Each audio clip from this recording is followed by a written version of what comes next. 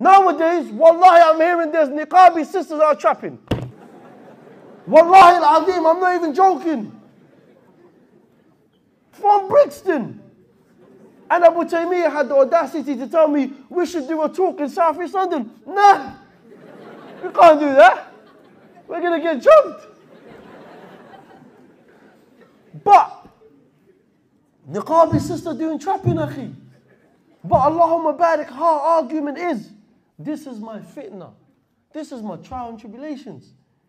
Leave me be. I still pray my five daily prayers. I park up the drugs around the side. I ain't gonna bring it into the masjid. Wallahi, this is what she said to me. Do I put her down? No, I don't. She needs guidance. So do we all. But one of the ways where we need to move forward as an ummah is stop looking at the brothers and sisters and comparing your life to them. Because no one could live your life better than yourself. You are the main character of your own life. And the more you chase this dunya, the more your heart is going to get darkened.